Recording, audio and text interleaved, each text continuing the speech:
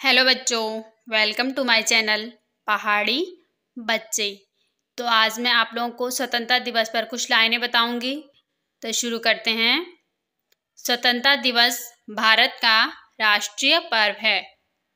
यह पंद्रह अगस्त को पूरे भारत देश में बड़े ही धूमधाम से मनाया जाता है।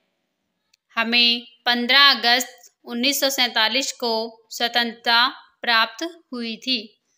यह दिवस हमें देश के महान स्वतंत्रता सेनानियों की याद दिलाता है। स्वतंत्रता दिवस देश की एकता और अखंडता का प्रतीक है। यह हमारे लिए अभिमान का दिन है। स्वतंत्रता दिवस के दिन हर जगह उत्सव का माहौल होता है। स्वतंत्रता का अर्थ है स्वाधीनता और आत्मनिर्भरता। एक बार फिर से रिपीट करेंगे हम। स्वतंत्रता दिवस भारत का राष्ट्रीय पर्व है।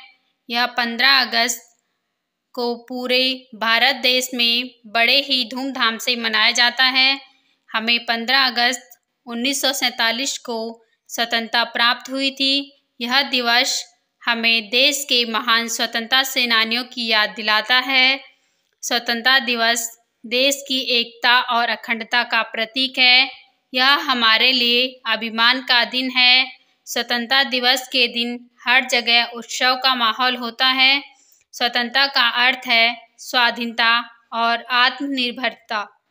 Thanks for watching please like share and subscribe my channel पहाड़ी बच्चे।